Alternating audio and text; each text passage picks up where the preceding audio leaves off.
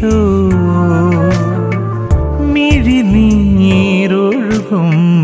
കവിളിൽ തലോടി മൊഴിയുന്നു നാഥനാമീശോ. കരയേണ്ട മകനെ പൊന്നോമലേ അഭയം ഞാനല്ലയോ? കരുണാർദ്ര സ്നേഹമാം ദൈവം.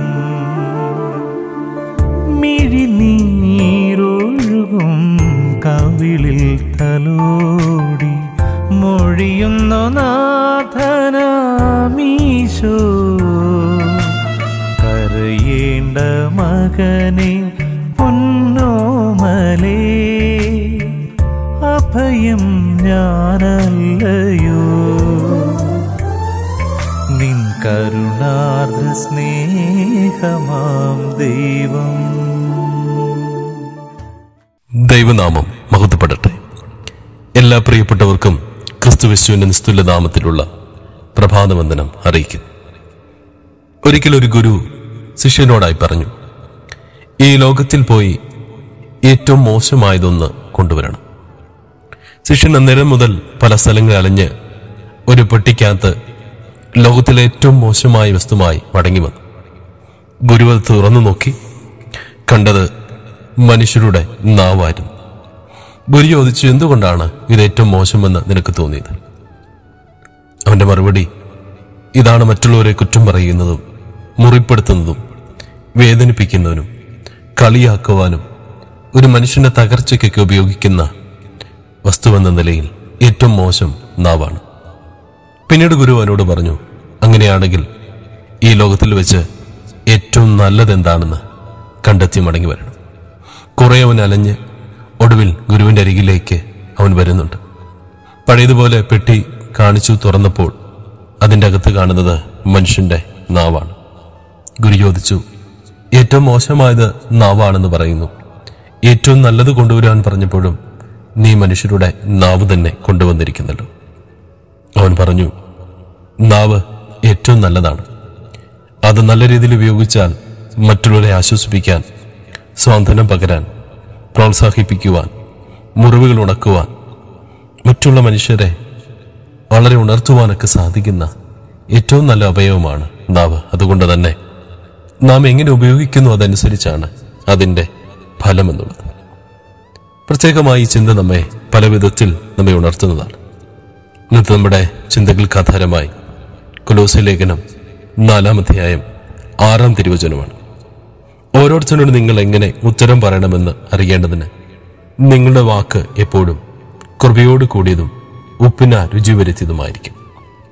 പരസപ്പോസലം നമ്മെ ഓർപ്പിക്കുന്നത് ഒരു മനുഷ്യൻ ഈ ലോകത്തിൽ ദൈവന്തപുരം നമ്മെ ആക്കി വെച്ചിരിക്കുമ്പോൾ മറ്റുള്ളവർ നാം എങ്ങനെ പെരുമാറണം എങ്ങനെ സംസാരിക്കണമെന്ന് കൃത്യമായി പറയുകയാണ്. ഉപ്പിന രുചി വരുത്തിയതാകട്ടെ. ഓരോരുത്തരോടും എങ്ങനെ ഉത്തരം പറയണമെന്നതിനെക്കുറിച്ച് നമുക്ക് നല്ല ധാരണയുണ്ടാകണം. കാരണം ദൈനംദിന ജീവിതത്തിൽ നിരവധി ആളുകളെയാണ് നാം കണ്ടുകൊണ്ടിരിക്കുന്നത്. ഓരോ ദിവസവും നാം എണ്ണമറ്റ വാക്കുകൾ ഉപയോഗിക്കുന്നുണ്ട്. സുഹൃത്തുക്കളോട് കുടുംബാംഗങ്ങളോട് നമ്മുടെ ജോലി സ്ഥലങ്ങളിൽ പുതുതായി പരിചയപ്പെടുന്നവർ അങ്ങനെ നിരവധി വാക്കുകൾ ഓരോ ദിവസം നാം സംസാരിച്ചു കൊണ്ടിരിക്കുകയാണ് ഒരു വ്യക്തിയുടെ സ്വഭാവം അയാളുടെ വാക്കുകളുടെ ഉപയോഗ രീതി അനുസരിച്ച് മനസ്സിലാക്കാൻ സാധിക്കും. വാസ്തവത്തിൽ ദൈവം ഇതെല്ലാം സംബന്ധിച്ചിടത്തോളം ദൈവം ആഗ്രഹിക്കുന്നത് വാക്കുകൾ വസന്തമാകണം.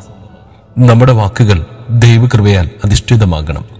ഉപ്പിനാൽ രുചിവരുത്തിയതാക്കുക രുചി പകരുന്ന ജീവിതമായി തീരുകയാണ് ദൈവം നമ്മെക്കുറിച്ച് ആഗ്രഹിക്കുന്നത്. ഉപ്പിന്റെ പ്രത്യേകത രുചി പകരുന്നതാണ് ഭക്ഷണത്തിന്. കേടുകൂടാതെ സൂക്ഷിക്കുന്നതാണ്. അതോടൊപ്പം തന്നെ ഔഷധ ഗുണമുള്ളതാണ് നമ്മുടെ വാക്കുകളൊക്കെ ഇങ്ങനെ മറ്റുള്ളവർക്ക് ഔഷധ ഗുണമുള്ളതായി തീരുവാൻ ആശ്വാസം പകരുന്നതായി തീരുവാൻ ബലപ്പെടുത്തുന്നതായി തീരുവാൻ മുറിവുകളൊക്കെ ഉണക്കുന്ന സ്വാതന്ത്ര്യത്തിന്റെ വാക്കുകളായി തീരുവാൻ മറ്റുള്ളവരെയൊക്കെ ശക്തീകരിക്കുവാൻ കഴിയുന്ന.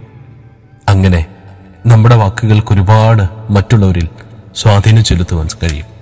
ആയതുകൊണ്ട് തന്നെ ഈ പ്രഭാതത്തിൽ ദൈവകരങ്ങളെ സമർപ്പിച്ചുകൊണ്ട് ദൈവനീ കനിഞ്ഞു നൽകിയിരിക്കുന്ന ഏറ്റവും മനോഹരമായ അവയവത്തെ വളരെ ശ്രദ്ധയോടുകൂടെ പ്രാർത്ഥനയോടുകൂടെ. നാവിൻ മുമ്പിൽ തന്നെയാണ് സ്വർഗവും നരകവും എന്ന തിരിച്ചറിവോടുകൂടെ പ്രാർത്ഥനയോടുകൂടെ സമർപ്പിക്കാൻ പറ്റുമോ? എണ്ണമറ്റ വാക്കുകളൊക്കെ സംസാരിക്കുന്ന ഈ ലോകത്തിൽ ഈ പ്രഭാതത്തിൽ തമ്പുരാന്റെ പാതപിടത്തെങ്കിൽ സമർപ്പിച്ചുകൊണ്ട് ഇന്നത്തെ നമ്മുടെ ചിന്തകളും വാക്കുകളുമൊക്കെ ദൈവമേ നിനക്ക് പ്രസാദകരമായി തീരുവാൻ. എന്റെ വാക്കുകൾ കൊണ്ട് മറ്റുള്ളവർക്ക് സ്നേഹം പകരുവാൻ ആശ്വാസം പകരുവാൻ മുറിവുകൾ ഉണക്കുവാനൊക്കെ അവനെ സഹായിക്കണമെന്ന് തമ്പുരാനോട് പ്രാർത്ഥിക്കാം. പ്രാർത്ഥിക്കാം. ഞങ്ങളുടെ ദൈവമേ സ്വർഗീയ നല്ല പിതാവേ ഞങ്ങളുടെ വാക്കുകൾ ഉപ്പിന് രുചി വരുത്തിയത് മറ്റുള്ളവർക്ക് കാരുണ്യം പകരുന്നത് മുറിവുകൾ ഉണക്കുന്ന ഔഷധ ഗുണമുള്ളതായി തീരുവാൻ അവിടുന്ന് സഹായിക്കണമേ. നിരവധി വാക്കുകൾ ഞാൻ സംസാരിക്കുമ്പോൾ ഞങ്ങളിലൂടെ അനേകർക്ക് കർത്താവെ അങ്ങയുടെ അടുക്കിലേക്ക് ആകർഷിതരായി തീരുവാൻ അവിടുത്തെ സ്നേഹം പകർന്നു നൽകുവാൻ ഞങ്ങളെ അവിടുന്ന് സഹായിക്കണേ ഞങ്ങളുടെ നാവിനെ ദൈവസനെ സമർപ്പിച്ചുകൊണ്ട് കടിഞ്ഞാനിടുവാൻ ദൈവം മറ്റുള്ളവരെ സംസാരിക്കുമ്പോൾ അവർക്ക് ദൈവമേ അതൊരു കാരുണ്യത്തിന്റെ വാക്കായി തീരുവാൻ ഞങ്ങളോട് സഹായിക്കണമേ. ഞങ്ങളെ ശക്തീകരിക്കണമേ. കർത്താവേ യശാപ്രവാചകരുടെ നാവുകൾ തീക്കനൽ കൊണ്ട് തൊട്ട് ശുദ്ധീകരിച്ചതുപോലെ ഞങ്ങളുടെ നാവുകളെ അവിടുന്ന് ശുദ്ധീകരിക്കണമേ. ശക്തീകരിക്കണമേ. അവിടുത്തെ കാരുണ്യത്തെ നിറയ്ക്കണം. യേശുവിന്റെ നാമത്തിൽ തന്നെ. ആമേ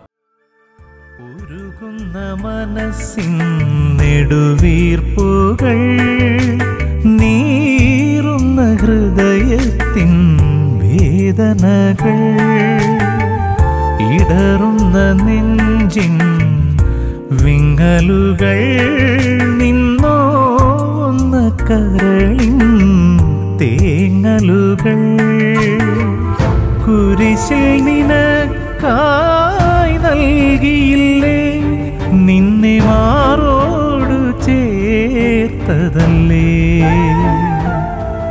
നിൻ കണ്ണീർ തുടയ്ക്കുന്ന ദൈവം. മിഴിനീരൊഴുകും കവിളിൽ തലോടി. മൊഴിയുന്നു നാഥന ഈശോ. കരയേണ്ട മകനെ പൊന്നോമലേ. അഭയം ഞാനല്ലയോ കരുണാർദ്ര സ്നേഹമാം ദൈവം.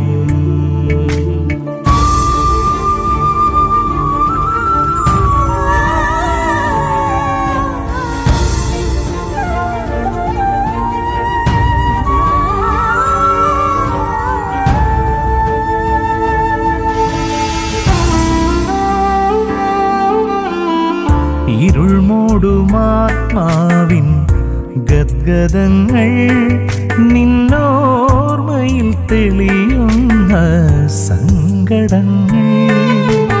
അഴൽ തിങ്ങി വിങ്ങും ഉള്ളിന്റെ ഉള്ളിലായി കനൽ മൂടിയെരിയും നൊമ്പരങ്ങൾ.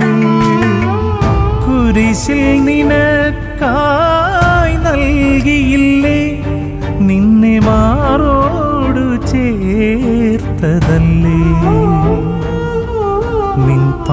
പാപം പൊറുക്കുന്ന ദൈവം. മിഴി നീരൊഴുകും കവിളിൽ തലോടി മൊഴിയുന്നു നാഥനാമീശോ. കരയേണ്ട മകനെ പൊന്നോമലേ. അഭയം ഞാനല്ലയോ? കരുണാർദ്ര സ്നേഹമാം ദേ